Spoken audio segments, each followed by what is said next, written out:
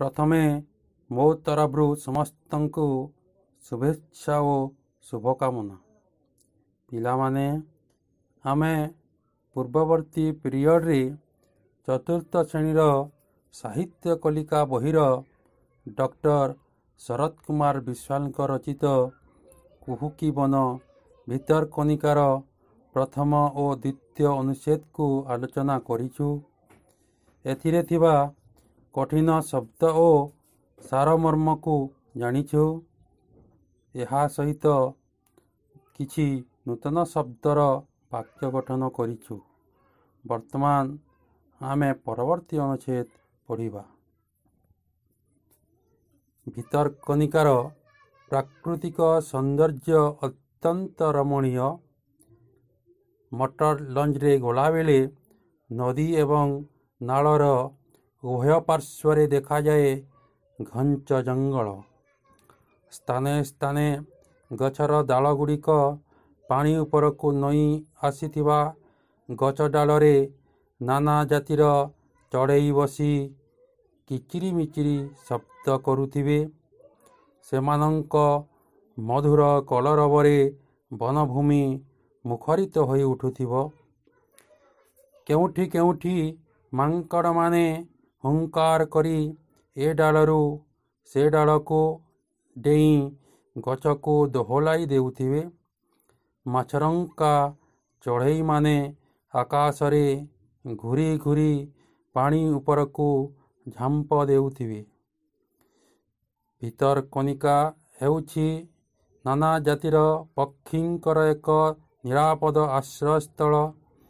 ଏଠାରେ ପ୍ରାୟ ଏକଶହ ସତୁରି ପ୍ରକାର ପକ୍ଷୀଙ୍କୁ ଚିହ୍ନଟ କରାଯାଇଛି।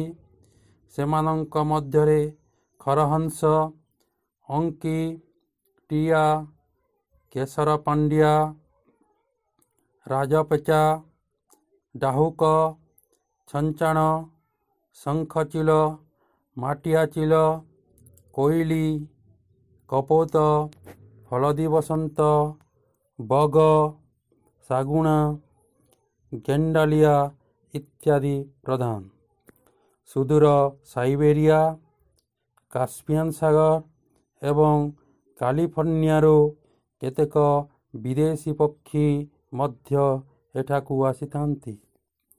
ସବୁଠାରୁ ଅଧିକ ଆକର୍ଷଣୀୟ ହେଉଛି ବଗଗହଣ। ପ୍ରାୟ କୋଡ଼ିଏ ଏକର ପରିମିତ ଅଞ୍ଚଳରେ ହଜାର ହଜାର ସଂଖ୍ୟାରେ ବଗ ଏକତ୍ର ବାସ କରନ୍ତି।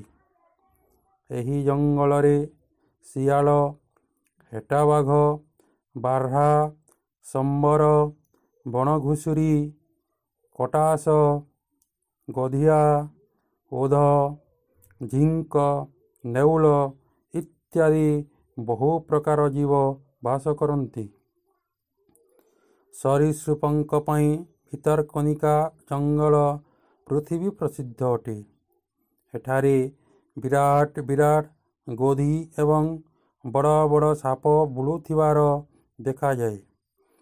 ନଦୀର ଉଭୟ ପାର୍ଶ୍ୱରେ ଦଳ ଦଳ ହୋଇ ହରିଣ ବୁଲୁଥିବାର ଦୃଶ୍ୟ ଅତ୍ୟନ୍ତ ଚମତ୍କାର।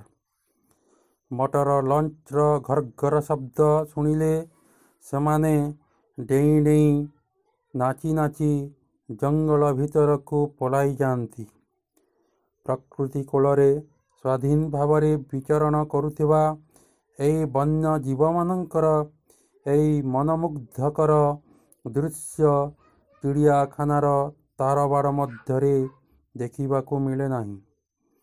ସ୍ୱାଧୀନତାର ଯେ କି ସୁଖ ଓ ଆନନ୍ଦ ତାହା ଏହି ପ୍ରାଣୀମାନଙ୍କୁ ଦେଖିଲେ ଅନୁଭବ କରିହୁଏ। ଭିତରକନିକାରେ ଦିନରେ ଦୁଇଥର ଜୁଆର ଆସେ। ଜୁଆର ସମୟରେ ନଦୀ ନାଳ ଭୟଙ୍କର ଭାବେ ଫୁଲି ଉଠନ୍ତି। ଜୁଆର ଗୁଡ଼ିକ ସମୟରେ ଛୋଟ ଛୋଟ ରଙ୍ଗୀନ କଙ୍କଡ଼ା ବାଲି ଓ କାଦୁଅ ଉପରେ ଦୌଡ଼ୁଥିବାର ଦୃଶ୍ୟ ଖୁବ୍ ସୁନ୍ଦର। ଏହି ଅଞ୍ଚଳରେ ଭେକ୍ଟି ଇଳିଶି ଖଇଙ୍ଗା କଣ୍ଟିଆ ଜଳଙ୍ଗ କୋରାଣ୍ଟି ବିଭିନ୍ନ ଲୁଣି ମାଛ ଏବଂ ନାନା ଜାତିର ଚିଙ୍ଗୁଡ଼ି ଓ କଙ୍କଡ଼ା ପ୍ରଚୁର ପରିମାଣରେ ମିଳନ୍ତି।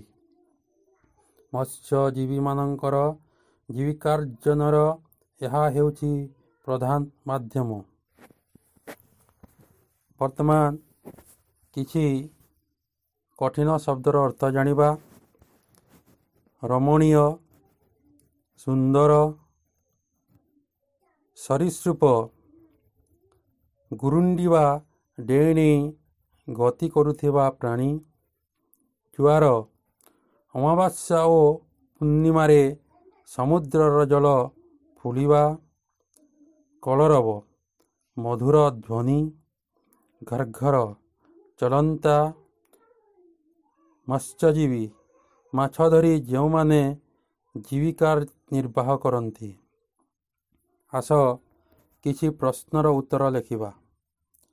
ପ୍ରଶ୍ନ ନମ୍ବର ଏକ ଭିତରକନିକାରେ କେଉଁ ପକ୍ଷୀ ସବୁ ଦେଖିବା? ପ୍ରଶ୍ନ ନମ୍ବର ଦୁଇ ଭିତରକନିକାକୁ ବିଦେଶୀ ପକ୍ଷୀମାନେ କେଉଁ ଦେଶରୁ ଆସିଥାନ୍ତି?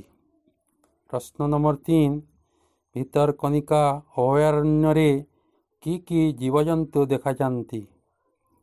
ପ୍ରଶ୍ନ ନମ୍ବର ଚାରି ଭିତରକନିକାରେ କି କି